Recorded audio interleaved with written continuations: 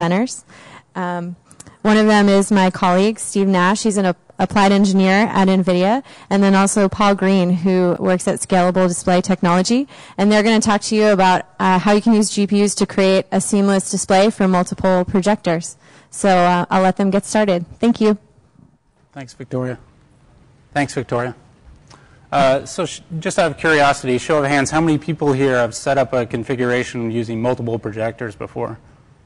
Uh, so, a good amount of you. So, um, you, you, will have appreciation for this new capability that we're showing today that we're offering on the NVIDIA Quadro GPUs.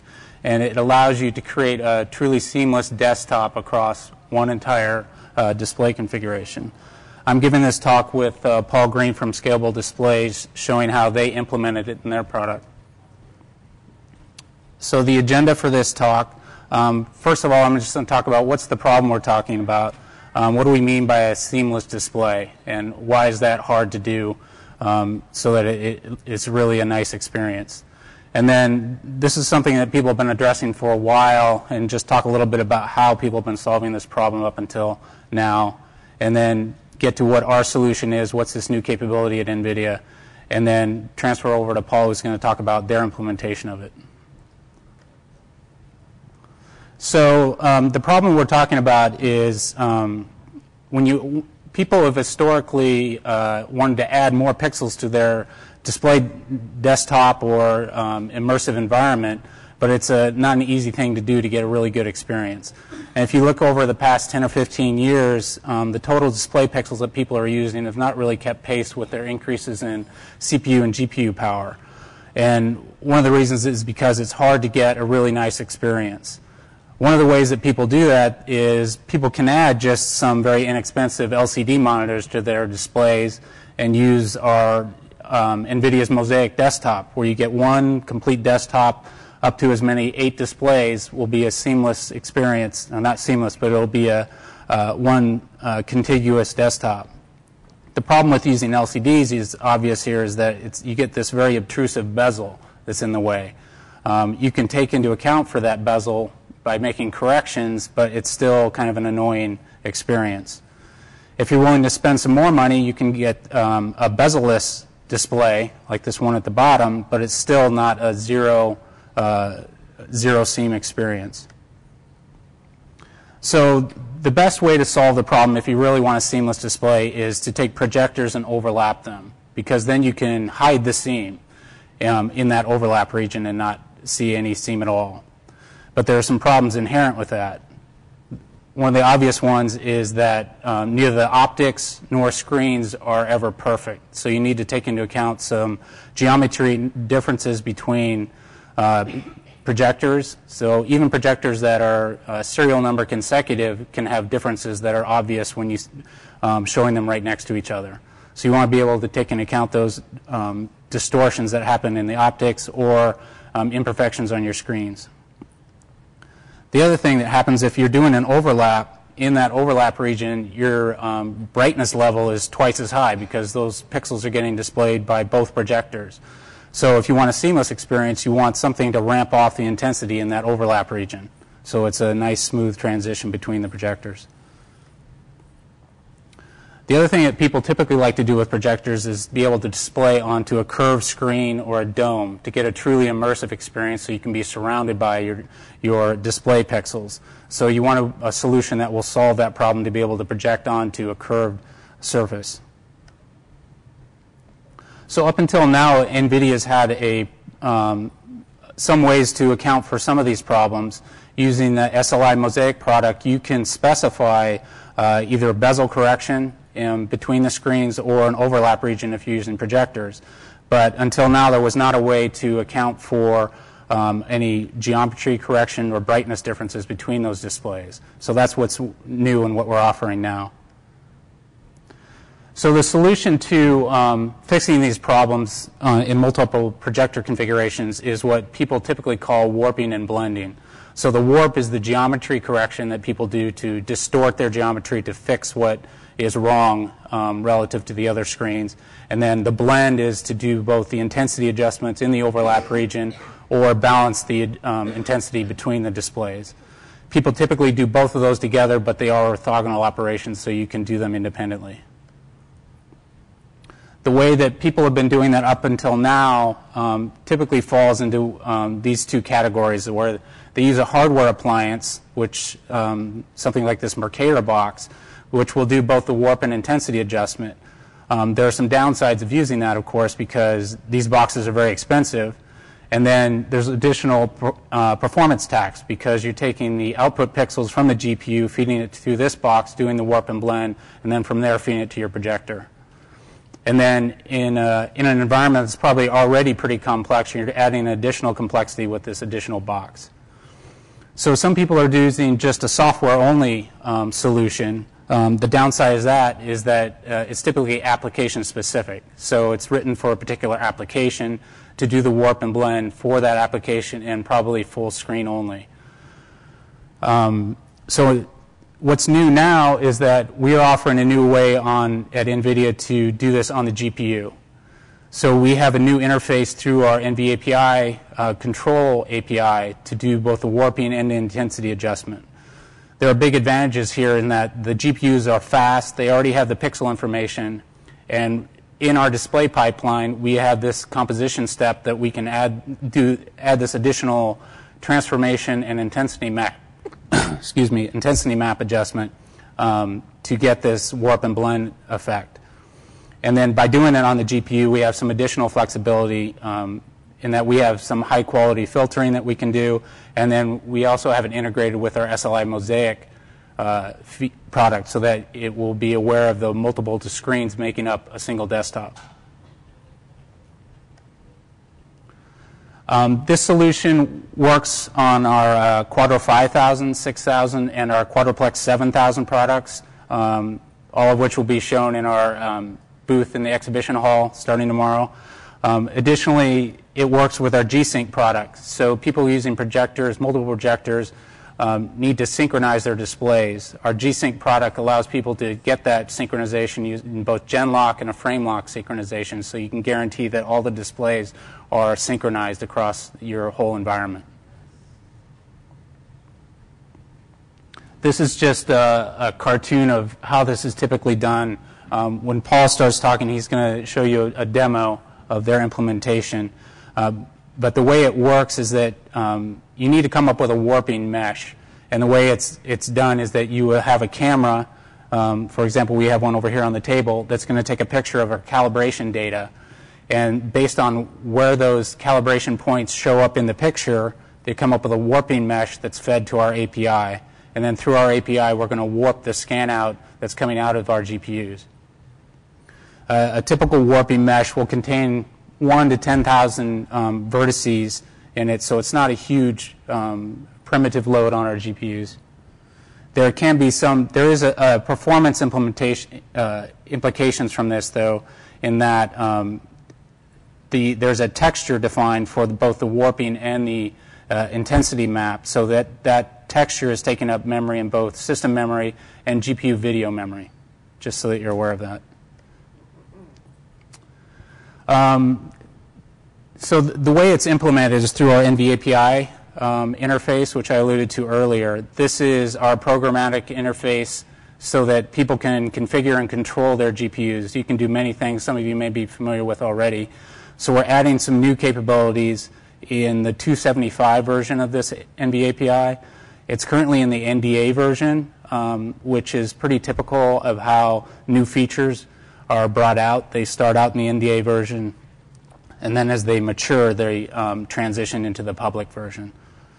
And the current implementation works on a single screen, um, but the, with the 285 driver, which is available in mid-September, um, it has the ability to warp and blend um, uh, SLI mosaic configurations. This is just some pseudocode of, of how it's implemented so you can get the idea. It's not a very complicated um, NVAPI program for those of you that are familiar with it. Um, you need to, as is typical with most NVAPI programs, you have to initialize the API, and then um, the for warping, the new function is called NVAPI GPU set scanout warping, and there's a few parameters that you need for that. One is the display ID, um, which we have some built-in functions that um, some of you may be familiar with of how to get that based on the GPU information. And then you have to feed it the warping data, which is the most important part here. And that warping data consists of six float values for each vertex. There's the XY vertex coordinates, and then the UV texture coordinates relative to the, um, the, the map. And then there's the RQ perspective correction if you're doing that as well. Um, the other thing of note there, the, that last parameter is a sticky bit that you can control whether you want that warp to persist through a reboot. And the intensity adjustment is very much the same thing. It's the same setup. And then for the intensity map itself, um, it has uh, GL RGB values for each pixel. So you can control each component independently with it for the map adjustment. And it has the same sticky value if you want that to persist through uh, reboot. And that's pretty much it. It's very straightforward. And as you'll see with Paul, it's, uh, it's, it's not too difficult to actually implement this. The hard part is doing what Scalable does is to come up with um, how that warp and blend should be implemented. So now I'm going to transition over to Paul, and he'll show you uh, their implementation of this. Uh, so uh, thanks for the introduction, Steve. Um, as Steve said, my name is Paul Green, and I'm a senior engineer from Scalable Display Technologies. So t- today I'm going to talk about uh, how we've been using the new uh, Warp and Blend API from NVIDIA for the Quadro series cards. And first off, I'd like to say um, that we've been really honored and, and, thrilled to be working with NVIDIA to help specify uh, the API that we're discussing today. Um, and we're very excited because we believe it's uh, one big step towards making edge blended multi projector systems uh, mainstream and mass market. Um, NVIDIA's contribution uh, is important to making these systems affordable in the commercial market. So that Mercator box that Steve mentioned is a, a $100,000 box. Um, and so now for a fraction of the cost, you can get all the functionality and, and more. Um, and so an example uh, of the growth in this area is uh, this year at InfoComm, which is the, the largest Pro AV trade show. Um, there were 48 edge blended displays um, which we were fortunate enough to do the cal- calibration for 22 of those. Um, and just a few years ago, there were only one or two edge blended displays. So we've seen a lot of growth. Um, in this talk, I'm first going to talk about our company, uh, Scalable Display Technologies, uh, and then I'm going to give a demo of the Warp and Blend API on a two projector system that I have set up over here. Um, and then I'm going to go through a few examples of past uh, installations that we've done at Scalable um, in the command and control, um, military simu- simulation, and business collaboration areas, um, and that could have benefited from this API. And then I'll go through some current and near future projects uh, that will that will hopefully use this API and show how it will benefit us and our integration partners. So. Uh, Scalable is the leading provider of auto calibration software for uh, seamless edge blended multi projector displays. Um, we were founded in 2004 based off the 1998 PhD work of our co-founder and president Rajeev Surati, uh, done at MIT. And the main goal at Scalable is to create a world where immersive displays are all around us um, and enabling new products and display management using our calibration software. We currently have over 100 customers in a number of different areas. As I mentioned, uh, command and control, business collaboration, data visualization, uh, MilSim, training, ProAV, um, and as well as working with several projector OEM manufacturers like NEC and Projection Design to directly integrate our software into their uh, projectors. So our, our core uh, IP is, is auto calibration with a camera-based feedback to automatically warp and, and blend overlapping projectors into one seamless display. And our, our camera-based feedback algorithms are patented by MIT and licensed exclusively to Scalable. So I'm about to run the demo. Uh, maybe we can, uh, Jeff here will set this up. And I'll show our software in action. So what I'm showing here is just uh, what you would get with two overlapping projectors, and you can see in the center is the, the intensity um, is, is doubled, as Steve mentioned. Um, And, and I have open here uh, Scalable Desktop, which is one of our uh, flagship products. Um, and what, was, what will happen when I run this demo is we'll project a series of calibration patterns and we'll detect basically uh, where each pixel on each projector lands on the screen and be able to compute the mesh data that uh, Steve mentioned and send that off to the, uh, the GPUs. Um, so, and it took it takes about uh, maybe 10 minutes to set up everything. I've already gone through and set all the dials and knobs, and I'm just going to hit the calibration button, which should take maybe 15 seconds. And I apologize for people on that side of the screen. I'll maybe duck so you can see, hopefully better.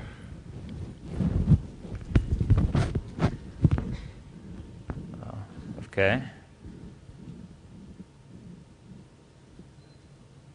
Well, that's awesome. Okay. I think uh, keeping it open was a bad idea.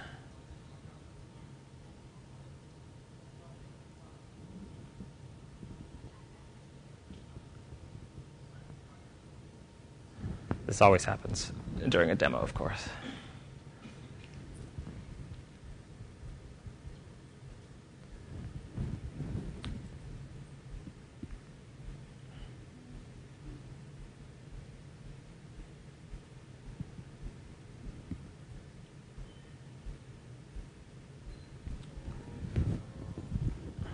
So yeah, in just a few seconds, we've uh, generated a seamless uh, edge blended display.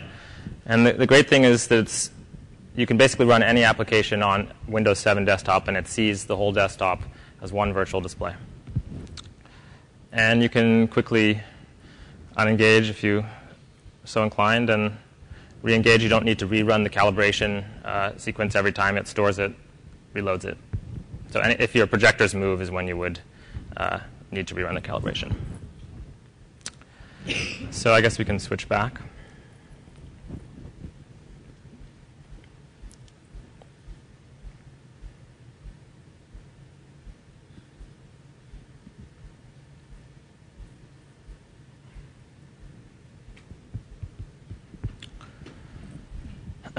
So yeah, now I want to talk about the benefits of the NVIDIA API. Um, so Scalable Display Manager is, is one of our two flagship, flagship products, and it's designed for the uh, MIL-SIM and command and control markets.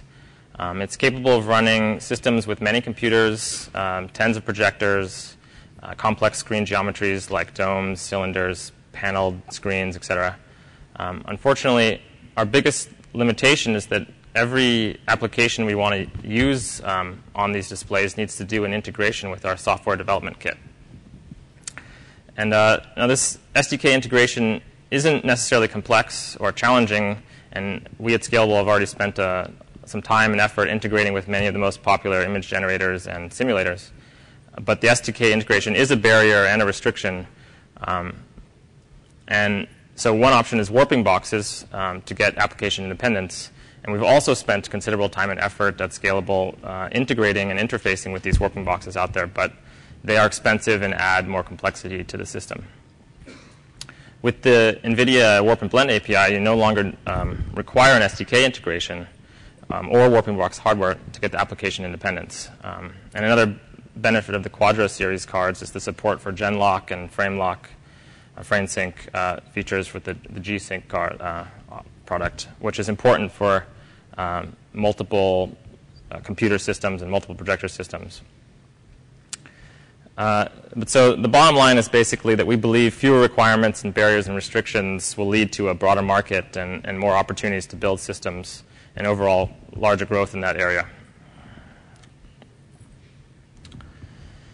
And our, our other main product, which I just demoed, is Scalable Desktop. Scalable Desktop allows us to warp and blend the entire Windows uh, desktop of a single computer with a single graphics card uh, with up to six projector outputs. Um, scalable desktop as it is right now works with a lot of hardware, including the NVIDIA GPUs and the GPUs from the other guys. Um, the, the, the key benefit of scalable desktop is because we are warping the entire desktop, no SDK integration is necessary. And so any application can take advantage of the warping and blending. Uh, and I'd say in some sense, our Windows uh, 7 desktop warping is kind of the model for the NVIDIA API, and so it seems maybe a little strange that we'd collaborate with NVIDIA to add functionality that competes with our own products. Um, but actually, I think we see it as an enhancement to our products because there, there are actually a few gotchas with our current warping method. Um, and most notably, we can't warp the logon screen, the Control Alt Delete screen, and some other protected Windows screens. We, just the way we do it, the warp goes away, and you'll get it. You get something like that when you try and log in. Um, you know, 99.9% of the time, uh, the user doesn't encounter this during normal use, but you do have to log in sometime. Um, and, and, you know, that last 0.1% uh, can be essential to make a solution marketable. Uh, and the NVIDIA Warp and Blend API gets us, gets us there. You know, for example, nobody wants to present a solution to the boardroom for a Fortune 100 company and have it be a challenge to log on. And unfortunately, a full 100% solution is difficult for us uh, without going down to the graphics driver level, which is exactly what they did.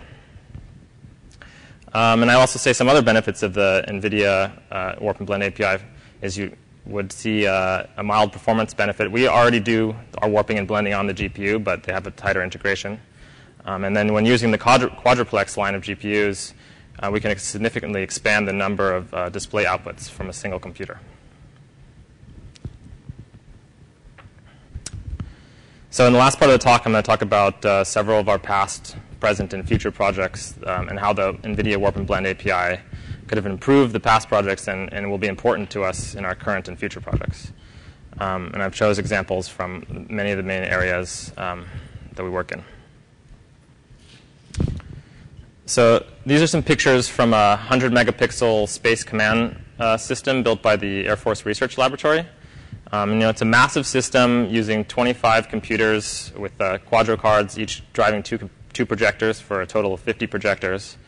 Um, AFRL's goal for the system was to explore uh, display systems for giving context to planetary scale data. You know, for example, if, if an asteroid, I guess an asteroid or, or a missile is going to impact the Earth, um, and with, with this display, you don't need to give the ETA because you can just readily infer it from, from the scale on the display.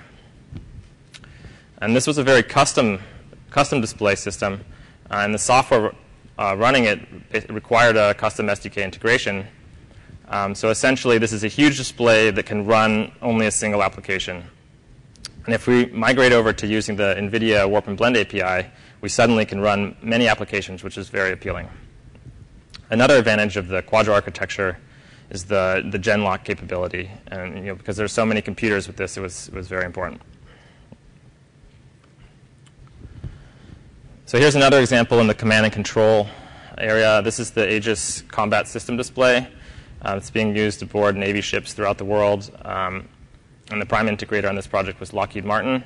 And the video wall control functionality was provided by, or was done by uh, Video Display Corporation. And I put this on here to show that that the that a lot of the command and control systems are not just a one-off system like the AFRL Dome, um, and, and, instead there will be many installs. So being able to simplify the hardware and the software requirements can be a big win in terms of the overall cost of the, of the display and, and then even maintenance going forward. Uh, and in this case, we've delivered uh, 22 cruisers so far, and we expect uh, 62 destroyers to follow. And I believe we're going to switch over to doing the Quadro-based NVIDIA Warp and Blend API for the remaining uh, installations. So here's an example uh, of one of our data visualization displays that's installed at the MIT Lincoln Laboratories. It's, it's a 12 projector, 20 megapixel display wall uh, that's also touch enabled. And then, like the previous two systems that we're using our scalable display manager uh, product uh, with multiple computers, this install is based on the scalable desktop product running a single computer, um, which is what I demoed earlier, um, that allows the warping and blending of Windows 7 desktop. And it's currently up and running in, in uh, Lincoln Laboratories on a non-Quadro based uh, hardware, but the, the purchase order is already in for two Quadroplexes, um, and which we'll be installing any day now. Um, and I think this will be the first system outside of our offices that's going to use the NVIDIA Warp and Blend API and scalable software. Um, and I think Lincoln Laboratories chose to upgrade to Quadroplexes uh, primarily because they wanted more GPU power, but also because they, we told them that uh, they'll be able to solve these annoying issues like the Windows login screen. Uh, and in addition um, to being a data viz wall for Lincoln Laboratories, we've been using it as a prototype testbed design for a virtual shopping aisle uh, system for a Fortune uh, 500 company that wants to build many of those. So here's another AFRL uh, system. It's, it's a F-16 fighter simulator um, sold by Immersive Display Solutions. And I'm calling it uh, low cost in, in, quotes here because in the milsim market, a 500K 48 megapixel simulator is pretty cheap. Um, and I think one of the keys to making this system low cost is, is allowing it to be repurposed for many projects. So having application independence uh, is very important for that and also uh, limiting the hardware and warping box uh, requirements can, can help keep the, the cost down. Um, so here are some examples of, of uh, displays in the com uh, commercial collaboration area, um, and they're all running scalable desktop. The image on the left, the large image on the left, is the boardroom for a Fortune 10 uh, company, and it was designed to, for facilitating face-to-face meeting where everyone can see the slides and the data but still face each other. So we've got two uh, mirrored displays on each side of the room.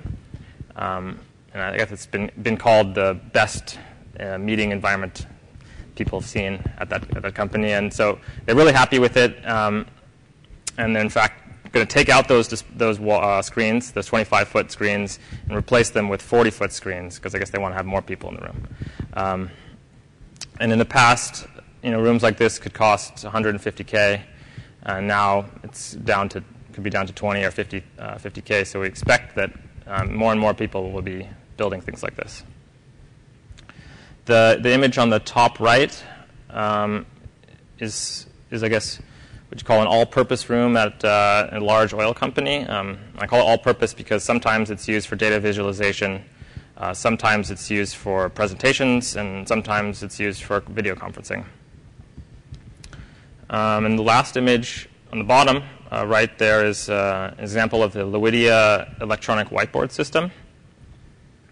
And the system has an electronic pen stylus that allows you to write directly onto the display like a virtual whiteboard, and which is really great in the, in the classroom or for a small company office. And we actually have, uh, have a system like this in our offices.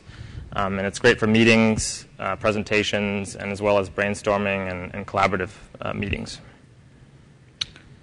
Uh, we, th we think it uh, scalable that in the near future, uh, every conference room that has a single projector today will have a multi-projector system soon.